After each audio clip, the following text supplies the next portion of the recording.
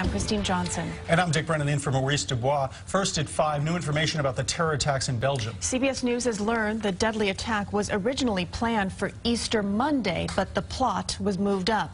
Meanwhile, the search is on for a new suspect, and investigators think ISIS may be planning other attacks throughout Europe. CBS 2's Alice Gainer is here now with more on today's developments. Alice? Christine and Dick, we've learned that the attacks were moved up after police captured Paris terror suspect Salah Abdeslam in Brussels last week. Security forces investigating the attacks are intensifying their manhunt across Europe. Authorities are still looking for the last unidentified suspect at the airport, the man in the hat.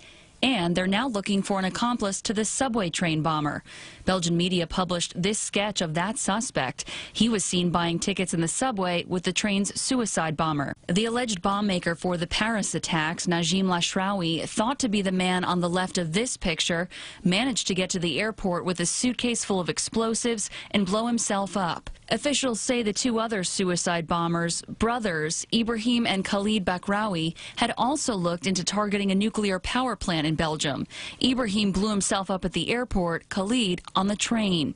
The men are linked to alleged Paris attacker Salah Abdeslam. His lawyer spoke this morning and says his client wants to be extradited to France. Because I think this is the most important part of the of the file, and I think his explanation he has to give them there uh, and not in Belgium. Meantime, we're hearing from survivors. Right when I turned the corner, I heard the first explosion. Sebastian Bellin was at the airport and remembers falling after the first bomb went off. I look down and, you know, I see like massive bones just sticking out.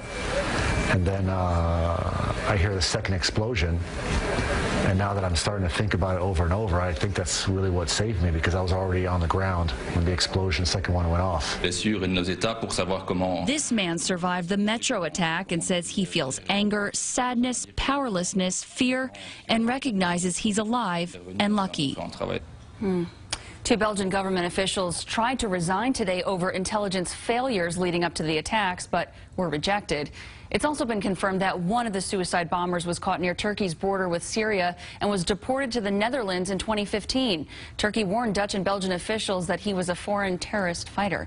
Dick, Christine. Inexplicable developments there, Alice. Thank you so much. In the meantime, search continues for Americans who have not been heard from since the blast. Sasha and Alex Minkowski had just arrived to the airport to check in Tuesday for a flight to New York.